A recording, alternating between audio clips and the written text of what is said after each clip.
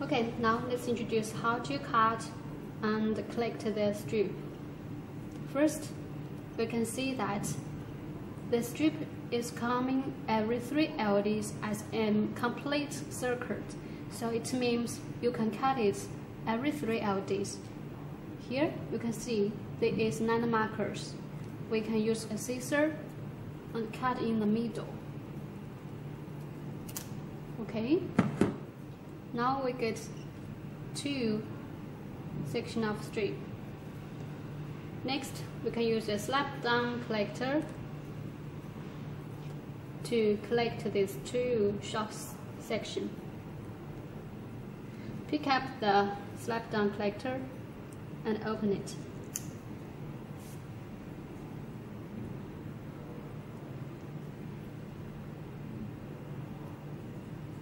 Here, we should know that there is positive and negative on both the slap down clip and also the strip PCB. So when we insert the strip PCB into the collector, we should make the positive and negative poles on both match with each other.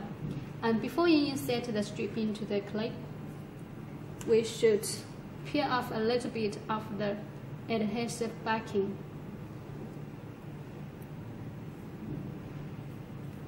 okay. Now it's okay. You set it and slap it down. Okay. And do the same to the next end. Peel off a little bit of the sun the tape and insert it into the collector. Slap it down. Okay, it's now finished. Let's collect it to the power and test.